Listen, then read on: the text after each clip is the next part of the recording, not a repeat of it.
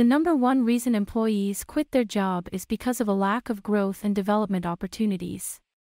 Employees want to feel challenged and have the ability to learn new skills and advance in their careers. When they feel stuck in a job with no opportunities for growth, they may become disengaged and start looking for new job opportunities.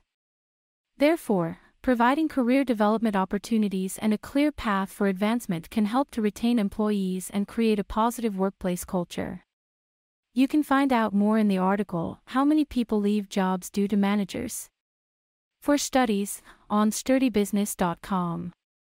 The link is in the description.